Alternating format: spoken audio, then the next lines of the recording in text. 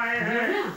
हमारा सपना है 2022 जब आज़ादी के 75 साल होंगे।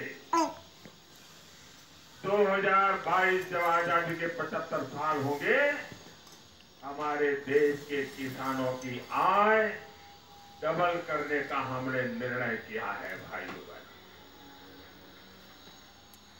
ऐसी नीतियाँ ऐसी व्यवस्थाएँ ऐसी सुविधाएँ को उनकी आय दोगुना करने की दिशा में बहुत बारीकी से चल रहे हैं।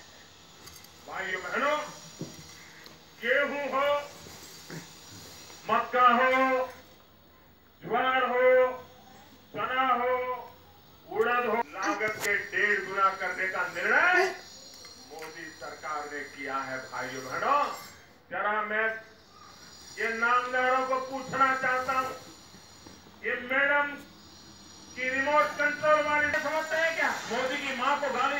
की जमानत बच जाएगी मोदी पर हमला बनने के उनके साढ़े सत्रह नाकाम हो गए।